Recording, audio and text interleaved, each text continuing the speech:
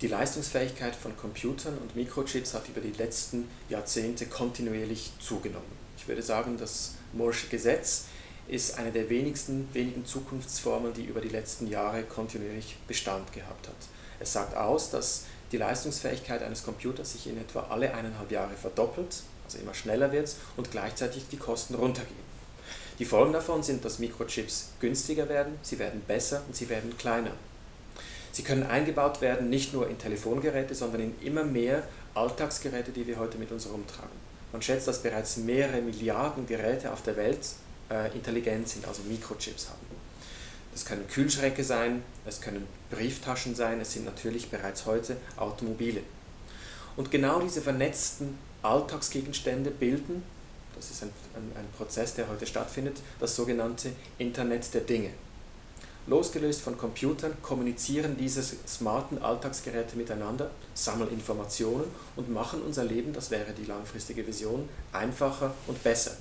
Autos wissen, äh, wann ein Stau kommt, der Kühlschrank weiß, wann eine Flasche Bier bestellt werden muss und die Brieftasche im besten Fall bezahlt selbstständig, obschon wir das natürlich auch schon äh, des Öfteren mit negativen Effekten gesehen haben.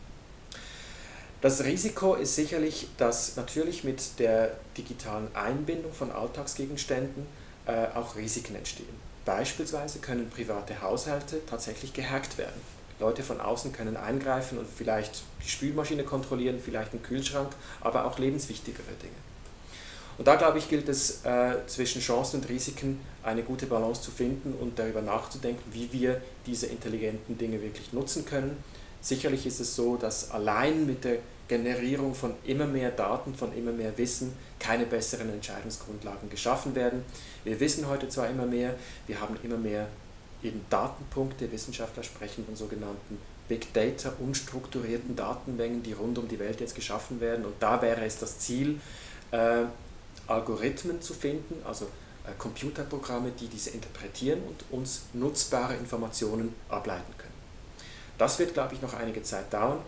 Bis wir dahin sind, glaube ich, dürfen wir die Vorteile dieser smarten Geräte durchaus nutzen, aber wir dürfen sie auch immer wieder mal abschalten und uns in der Natur den wirklich wichtigen Dingen des Lebens zuwenden.